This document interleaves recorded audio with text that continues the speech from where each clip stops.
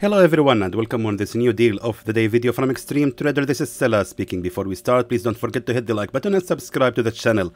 Also, I wanted to highlight guys that many of our signals uh, from the midweek analysis of course has failed due of course to the um, FOMC statement which happened yesterday night. As you can see, all of the signals didn't work well, and I believe I have told you guys about it.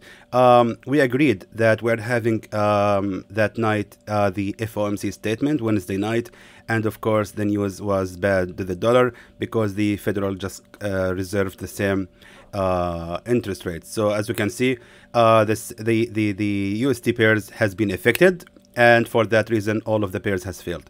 Now, of course, it's important to mention that this week will, there will be no Friday analysis video because, of course, on Friday we will be having the non-farm payroll and the unemployment rate for both the CAD and the USD pairs.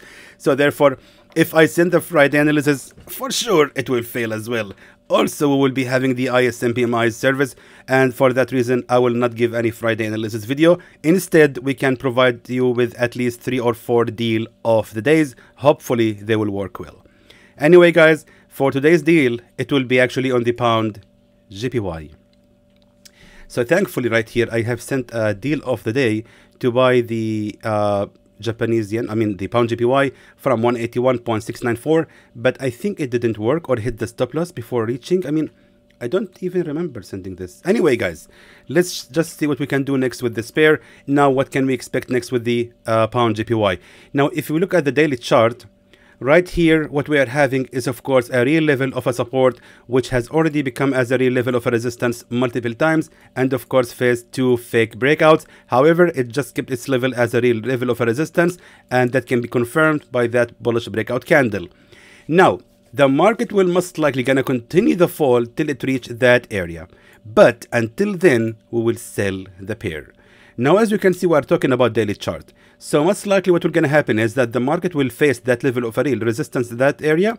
And after that, it will continue the fall toward that level of the previous support where we can later buy the pound JPY. But until then, I would recommend to sell it until it reach that level and that can provide us with at least 120 pips.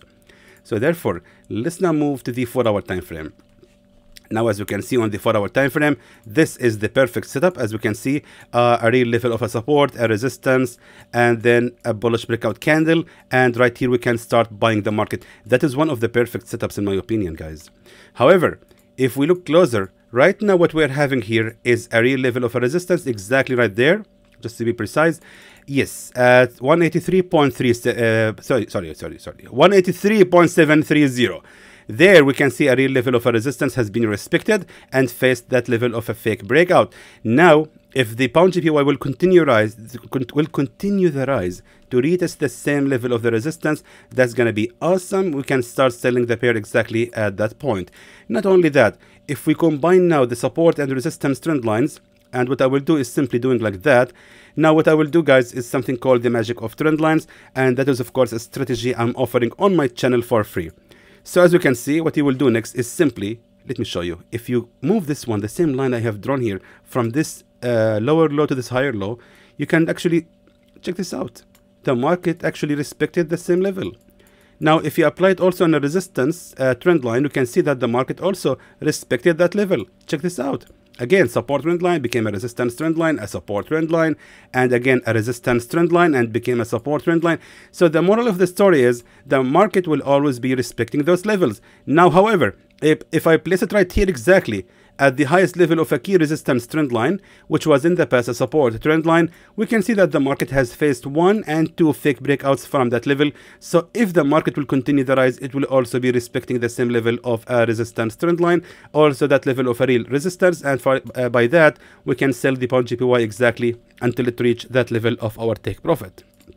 So therefore, our deal of the day will be selling the pound JPY exactly at uh, 183.730 aiming 182.502 expecting exactly 120 pips of profit and a stop loss that shouldn't be higher than the peak of the resistance or the top of the resistance at 184.455 uh, for about six, uh, 68 pips only and there goes your deal, my friends, for today. Hopefully, it will be a good one, and hopefully, we can all make good profits with it. Of course, another reminder uh, that today we are facing some news on the uh, pound pairs. Um, the official bank rate will, is going to be out. Also, Bank of England monetary policy report is going to be out uh, today at uh, 12 p.m. GMT time. So for that, of course, let's be careful and wise about how we are taking this signal. And always, guys, consider the fundamentals. And remember, to not leave any trade opened during the news. If you have skipped any, then just be sure that you have been prepared for any potential losses. Uh, because at the time of the news, the spreads with all the brokers in the world, the spreads are, are going to get very much higher and the market will move very fast. You will not have any time to realize even what's going on. So anyway, guys, until then, I hope it's going to be a good day for you. And until then, I hope uh, that was informative to you. And I would like to thank you for watching.